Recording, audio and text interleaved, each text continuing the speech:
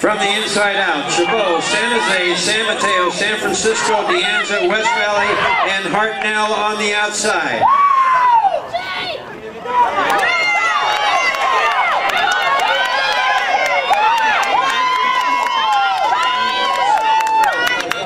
Zone one is good.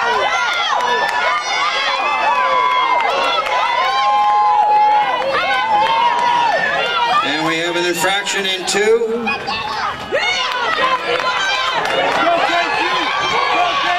is good. De Anza, San Francisco. It's De Anza, San Francisco. And De Anza, San Francisco. We'll have to wait for the official results after we get the infraction in zone two.